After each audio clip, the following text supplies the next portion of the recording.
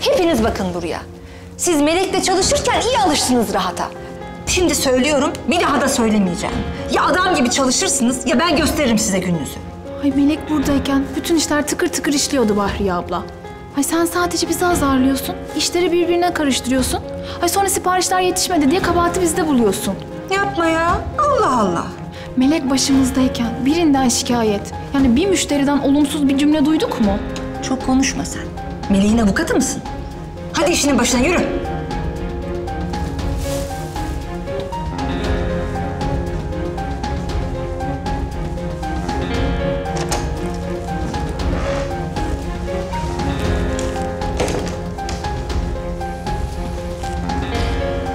Nerede bakalım şunun hazırladığı haftalık iş takvimi?